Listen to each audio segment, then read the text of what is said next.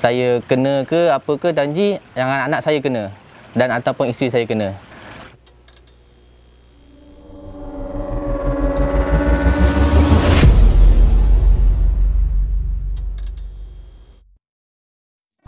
Saya Muhammad Amirul bin Roslan, bekas pesakit COVID-19.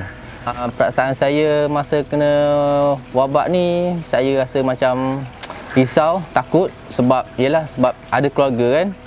Bau dan dia rasa saya mula-mula macam dah tak ada. Lepas tu urat saya, sendi semua sakit. Saya telah dah vaksin dua dos lengkap.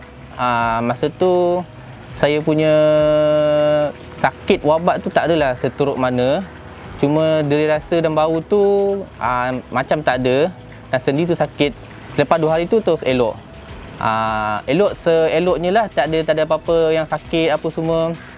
Ah, selepas itu saya dikabarkan berita buruk. Aa, anak saya dan juga isteri saya positif. Anak saya dan isteri saya telah dihantar ke Sungai Buloh selama 10 hari. Tapi Alhamdulillah mereka hanya di tahap satu dan tidak apa-apa yang buruk ataupun yang teruk berlaku pada mereka lah. Aa, yang paling saya risau juga ialah mak saya telah dihantar ke Maab kerana nafas ni laju. Tetapi disebabkan dia telah diterima uh, dos pertama.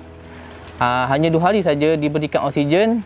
Lepas itu doktor kata uh, nafasnya telah kembali sembuh seperti biasa dan tiada pakai oksigen lagi. Disebabkan vaksin ni mak saya, saya dan juga ahli keluarga saya semuanya dijangkiti hanya dalam dua hari sajalah. Ha, lepas tu kami telah sihat semuanya, sembuh.